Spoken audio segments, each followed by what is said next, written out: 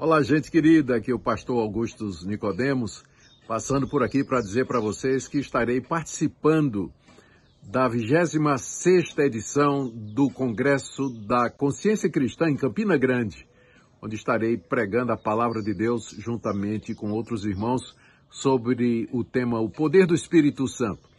Espero ver você lá. Faça sua inscrição gratuita em conscienciacristã.org.br e ore para que seja uma grande bênção como sempre. Eu vejo você lá.